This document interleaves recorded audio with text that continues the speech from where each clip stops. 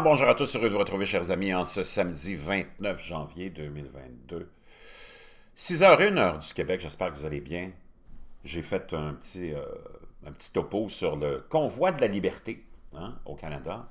Grande manifestation, c'est rare qu'on parle du Canada en termes de manifestation, mais là, c'en est une grosse, puis beaucoup de soutien, beaucoup de support. Donc, je vous laisserai le lien dans la boîte de description de cette euh, vidéo-là que j'ai faite, de ce topo-là, sur le sujet pour ceux qui s'intéressent, vous pourrez euh, la regarder. Les amis européens, cousins euh, français, il y en a beaucoup qui m'ont euh, texté pour me demander ce que c'était le convoi de la liberté. Vous allez comprendre ce que c'est dans cette vidéo-là. Pendant ce temps-là, du froid extrême, janvier aurait été le mois le plus froid enregistré, je pense, pour beaucoup de pays, le Canada inclus. Et on continue dans le froid. On a eu un petit répit hier, moins 10 ou moins 12. Et là, on retombe dans des températures vraiment glaciales partout à travers le monde euh, concernés par l'hiver, et même ceux qui ne sont pas concernés par l'hiver habituellement, ben, savent un peu ce que c'est l'hiver et ce qu'on endure comme pays nordique et, habitants de pays nordiques. L'hiver a frappé partout. C'est un modèle qu'on retrouve depuis 3 à 5 ans assez important de changement. Ce qui fait dire à plusieurs que peut-être on s'en va vers un grand minimum solaire avec des cycles solaires comme le 24e qui vient de se terminer. On est dans le 25e depuis à peu près un an. Le 24e s'est terminé en faiblesse. Le 25e, même la NASA nous a dit que peut-être ce serait un des plus faibles depuis 200 ans. Le 26e sera aussi faible. Les 27e, on ne sait pas, mais...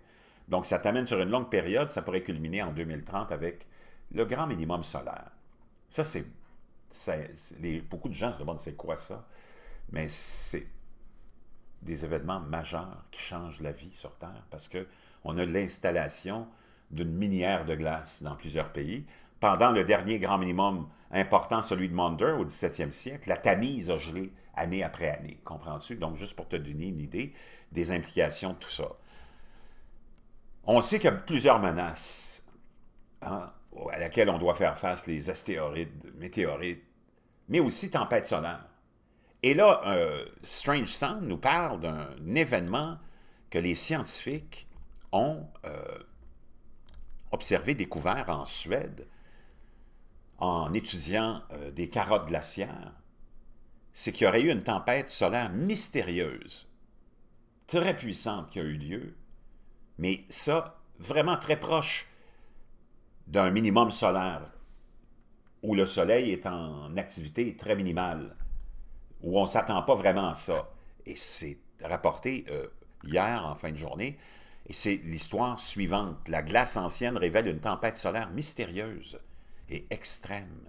Grâce à des analyses de carottes de glace du Groenland et de l'Antarctique, une équipe de recherche dirigée par l'Université de Londres en Suède a trouvé des preuves d'une tempête solaire extrême qui s'est produite il y a environ 9200 ans. Ce qui intrigue les chercheurs, c'est que la tempête s'est produite pendant l'une des phases les plus calmes du Soleil, au cours de laquelle on pense généralement que notre planète est moins exposée à de tels événements. Le Soleil est une condition préalable à toute vie sur Terre, mais notre compagnon, qui donne la vie, peut aussi causer des problèmes. Lorsqu'il y a une forte activité à la, surface, du Soleil, plus d'énergie est libérée, ce qui peut donner lieu à des orages géomagnétiques. Cela peut à son tour provoquer des pannes de courant et des perturbations de communication. Il est difficile de prévoir des tempêtes solaires. On pense actuellement qu'ils sont plus susceptibles pendant une phase active du Soleil ou pendant le maximum solaire, pendant le cycle dit des tâches solaires. Cependant, la nouvelle étude publiée dans Nature Communications montre que ce n'est pas toujours le cas pour les très grosses tempêtes. Ça, c'est très inquiétant. Nous avons étudié des carottes de forage du Groenland et de l'Antarctique et découvert des traces d'une énorme tempête solaire qui a frappé la Terre pendant l'une des phases passives du Soleil il y a environ 9200 ans, explique Raymond Mushkiller, ou Mushkler, chercheur en géologie à l'Université de Londres. L'analyse des carottes de glace a conduit les chercheurs à leurs résultats surprenants. Les chercheurs ont parcouru les carottes de forage à la recherche de pics d'isotopes radioactifs beryllium-10 et chlore-36, ceux qui sont produits par des particules cosmiques à haute énergie qui atteignent la Terre et peuvent être conservés dans la glace et les sédiments. C'est un travail d'analyse long et coûteux, par conséquent, nous avons été agréablement, surpris lorsque nous avons trouvé un tel pic, indiquant une tempête solaire géante, jusque-là inconnue, en lien avec une faible activité solaire, explique le chercheur. Si une tempête solaire similaire devait avoir lieu aujourd'hui, elle pourrait avoir des conséquences dévastatrices. En plus des pannes de courant et des dommages causés par les radiations aux satellites, cela pourrait constituer un danger pour le trafic aérien, les astronautes ainsi qu'un effondrement de divers systèmes de communication. Ces tempêtes énormes ne sont actuellement pas suffisamment prises en compte dans les évaluations des risques. Il est de la plus haute importance d'analyser ce que ces événements pourraient signifier pour la technologie d'aujourd'hui et comment nous pouvons nous protéger. Et ça, c'est vraiment important de comprendre ça, que naturellement, même euh, l'événement de Carrington dont on parle souvent, je vais aller vous chercher le lien, euh, Carrington Event. OK? On va aller voir ça ensemble. Ça, c'était une tempête solaire qui a eu lieu, euh, géomagnétique, la plus intense de l'histoire enregistrée, mais à part celle dont on vient de parler, se produisant du 1er au 2 septembre 1859 pendant le cycle solaire 10. Une éruption solaire associée à la tempête géomagnétique a été observée et enregistrée indépendamment par les astronomes, blablabla. Bla, bla, bla, On la qualifie de Super tempête solaire parfaite, l'événement de Carrington. Le matin du 1er septembre 1859, l'astronome amateur Richard Carrington monta dans l'observatoire privé attaché à sa euh, propriété. Et après avoir ouvert l'obturateur du dôme pour relever le ciel bleu clair, il a pointé son télescope en laiton vers le soleil et a commencé à dessiner un groupe d'énormes taches sombres qui maculaient sa surface. Soudain, Carrington a repéré ce qu'il a décrit comme deux taches de lumière intensément brillante et blanche sortant des taches solaires. Cinq minutes plus tard, les boules de feu ont disparu, mais en quelques heures, leur impact se faisait sentir dans le monde entier. Cette nuit-là, les communications télégraphiques du monde entier ont commencé à échouer. Il y a eu des rapports d'étincelles jaillissant de machines télégraphiques, choquant des opérateurs et incendiant des journaux, des, euh, installations hein, médiatiques Partout sur la planète, des aurores colorées ont illuminé le ciel nocturne, brillant si fort que les oiseaux ont commencé à gazouiller la nuit et que les ouvriers ont commencé leur tâche quotidienne, croyant que le soleil avait commencé à se lever. Certains pensaient que la fin du monde était proche. Mais les yeux nus de Carrington avaient repéré le véritable cause de ces événements bizarres, une éruption solaire massive avec l'énergie de 10 milliards de bombes atomiques. L'éruption a craché du gaz électrifié, et des particules subatomiques vers la Terre et la tempête géomagnétique qui a résulté, surnommé l'événement Carrington, a été le plus important jamais enregistré à avoir frappé la planète. Donc imaginez cette tempête-là aujourd'hui avec euh, il y a eu des opérateurs télégraphiques qui ont été blessés. lorsque les employés de l'American Telegraph Company sont arrivés à leur bureau de Boston à 8 heures du matin, ils ont découvert qu'il était, il était impossible de transmettre ou recevoir des dépêches. L'atmosphère était cependant si chargée que les opérateurs ont fait une découverte incroyable.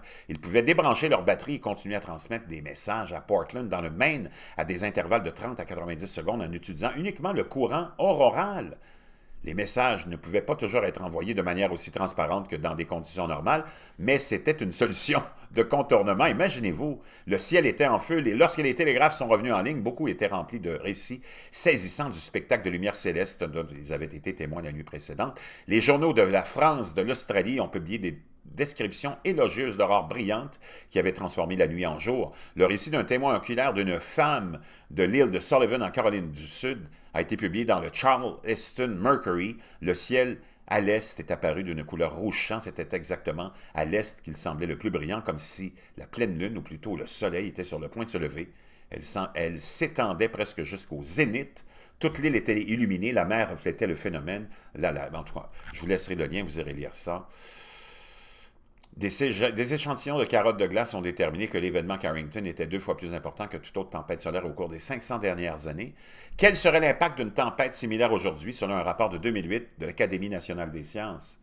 Il pourrait provoquer d'importantes perturbations sociales et économiques en raison de son impact sur les réseaux électriques, les communications par satellite, les GPS, le prix potentiel entre 1000 et 2000 milliards de dollars, mais ça pourrait être encore plus grave.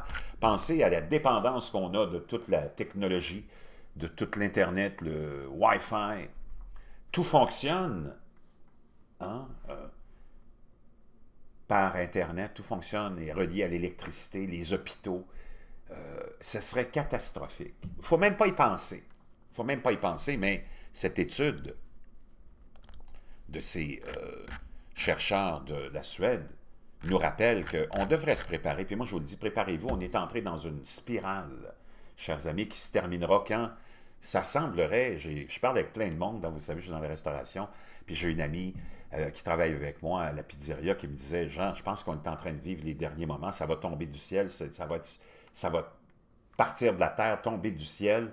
Elle dit, c'est écrit dans les Saintes Écritures, c'est la fin.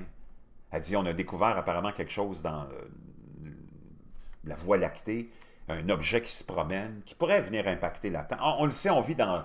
On est dans une spirale, chers amis, puis je vois pas la fin de cette spirale-là, puis un tourbillon d'événements, puis de catastrophes qui vont venir nous frapper.